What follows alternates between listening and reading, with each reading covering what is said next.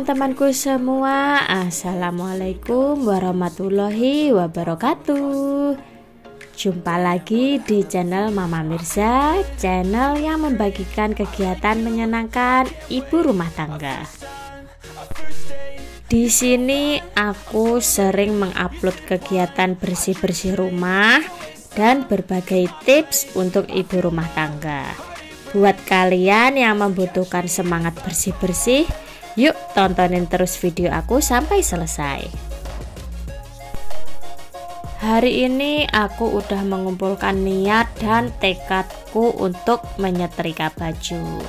Katanya eh katanya nih menyetrika baju itu adalah kegiatan paling berat yang dilakukan oleh ibu rumah tangga. Kalian setuju nggak sih kalau menyetrika baju tuh rasanya berat dan males banget? Atau ada kegiatan lain yang menurut kalian lebih berat, lebih malas dilakukan daripada menyetrika? Coba tulis di komentar ya. Di awal video tadi aku udah siapin semprotannya aku pakai kiss spray refill jadi dicampur sama air sendiri ya teman-teman. Sebenarnya masih wangi parfum laundry tapi ya biar hemat aku pakai kiss spray refill aja. Ya biar licin pas menyetrika gitu nanti pas mau dipakai kan masih bisa pakai parfum baju lagi biar lebih wangi. Aku dulu tuh pernah beli parfum laundry. Wangi banget sih menurutku tapi ya harganya lumayan ya. Padahal aku udah beli di grosiran gitu Oke ini aku udah ambilin baju yang mau aku setrika ini lumayan banyak kalau nggak salah ini dua apa tiga kali jemuran gitu. Terus ini aku cuma mau menyetrika baju Mirza aja ya teman-teman. Karena kalau baju aku kan kebanyakan cuma daster. Nah itu biasanya langsung aku lipat terus aku simpan ke dalam lemari kalau baju Mirza ini aku setrika biar kelihatan lebih rapi. Terus ini bajunya aku balik-balik dulu biar nanti lebih memudahkan pas mau menyetrika dan lebih cepat juga Oh iya, sampai lupa aku belum tanya kabar. Gimana kabarnya teman-teman? Semoga selalu dalam lindungan Allah. Semoga selalu sehat dan selalu semangat. Terima kasih buat yang selalu nontonin video aku dan yang baru mampir aku ucapkan selamat datang, salam kenal dan semoga uh, kalian mendapatkan manfaat dari video-video aku. Jangan lupa untuk like, komen, dan subscribe serta bagikan video ini kepada teman-teman kalian agar teman-teman kalian bisa mendapatkan semangat juga.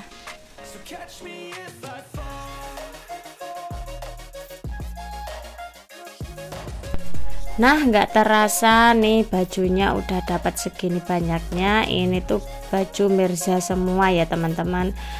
Untuk baju pak suami aku juga nggak cuci. Jadi suami aku itu bajunya di laundry teman-teman. Jadi aku cuma nyuci bajuku sama baju Mirza aja. Nah ini aku udah mulai menyetrika bajunya ya teman-teman. Ini tuh nggak ada trik khusus ya yang penting rapi gitu aja Oke, yuk temenin aku menyetrika.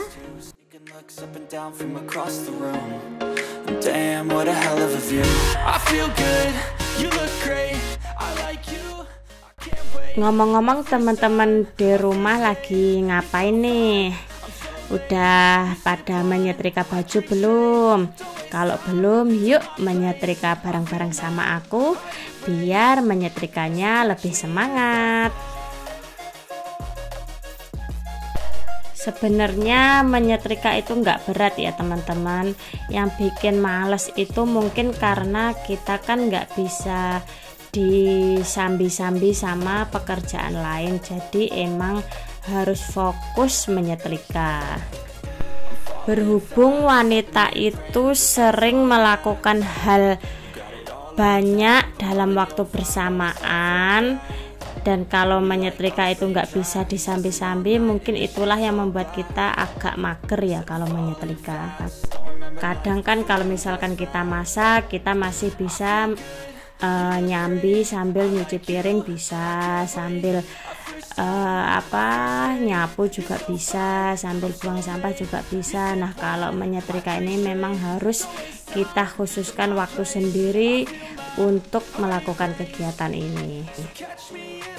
Nah pas nyetrika itu kan hawanya panas ya teman-teman. Jadi biasanya aku nyalain kipas angin biar enggak gerah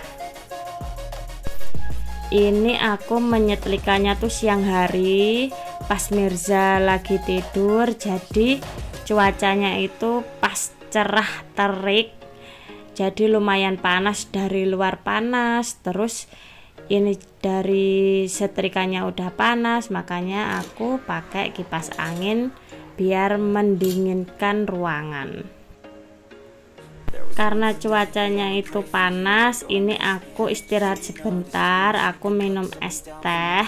Ini tuh es tehnya dikasih sama saudara aku lumayan kan?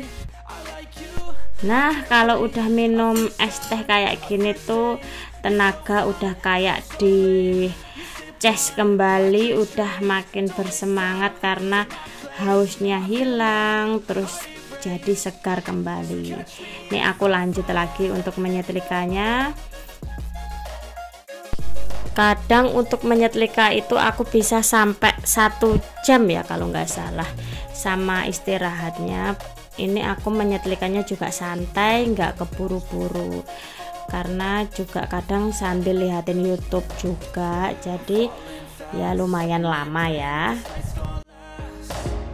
got it all on tap. I'm loving your vibe, always have your back.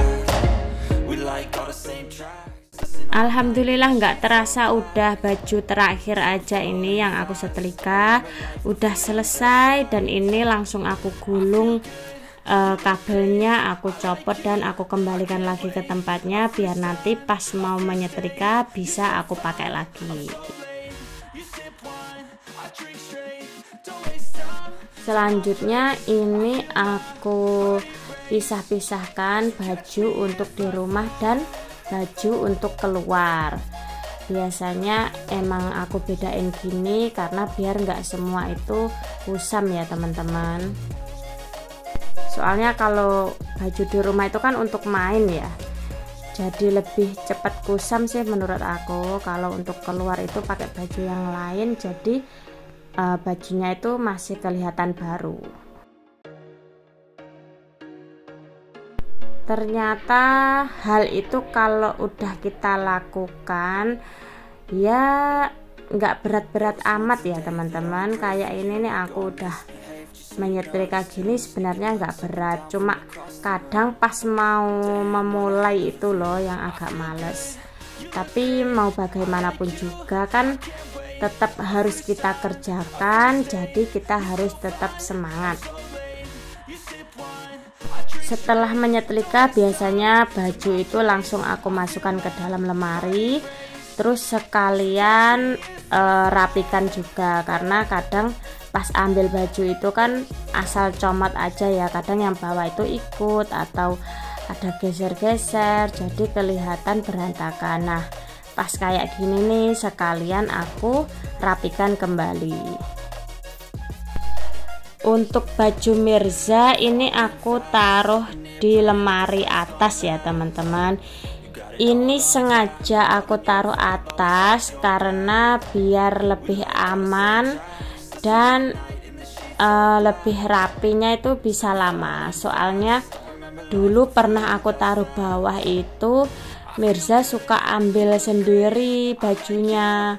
Jadi misalkan aku pilihin baju ini nah ternyata setelah dipakai beberapa jam gitu aja dia itu udah nggak mau. Dia itu ambil baju sendiri di lemari dan minta ganti. Itu buat apa? Baju kotor makin banyak dan cuciannya makin banyak. Makanya aku taruh di atas ini biar dia nggak bisa ambil nah yang di bawah itu yang berantakan itu tuh tuh baju aku teman-teman. Ini lumayan berantakan karena kan emang di bawah ya itu Mirza itu suka buka-buka lemari gitu loh. Terus aku kadang ambilnya pun juga asal ambil jadi gampang berantakan. Kadang tuh ambruk sendiri gitu loh teman-teman karena terlalu tinggi mungkin ya ini susunnya ini mau sekalian aku rapikan. Ini tuh nggak aku setelika ya. Jadi pas habis aku jemur itu langsung aku lipat. Makanya nggak bisa serapi pakaian yang disetelika untuk sementara aku masih sanggupnya tuh uh, menyetrika baju Mirza sama baju-baju aku yang untuk bepergian. Kalau untuk sehari-hari belum aku setrika. Mungkin nanti kalau aku udah punya tekad yang kuat dan semangat yang tinggi bakalan aku setrika juga. Karena aku tuh suka loh kalau bajunya tuh rapi. Nah ini udah rapi aja kan? Udah aku susun itu yang digantungan itu baju-baju gamis ya teman-teman. Itu untuk acara-acara uh, kayak arisan. Dan lanjut ini aku mau buka lemari pak suami. Nah ini dia. Ini adalah baju pak suami. Uh, banyak ya. Soalnya ini kan uh, rumah ibu mertua aku. Jadi baju-baju pak suami itu emang ada di sini teman-teman. Kalau baju aku kan ada di rumah orang tuaku. Jadi sebagian besar tuh masih di sana. Yang aku bawa ke sini tuh baru sebagian kecil aja. Ini aku mau masukkan baju pak suami. Jadi baju pak suami itu kan di laundry ya teman-teman. Ini biasanya aku yang masukkan ke dalam lemari. Sekalian mau aku e, rapikan juga. Soalnya uh, biasa ya kalau laki-laki itu kan ambil baju juga suka berantakan. Jangankan laki-laki perempuan aja juga berantakan. Nah ini untuk uh, hand body terus parfum ini mau aku susun-susun biar rapi. Terus ini untuk bajunya sebelum aku masukkan yang laundry tadi yang lama aku susun-susun lagi biar rapi dulu. Baru nanti yang laundry tadi aku masukkan ke sini biasanya baju laki-laki itu kan lebih sedikit ya.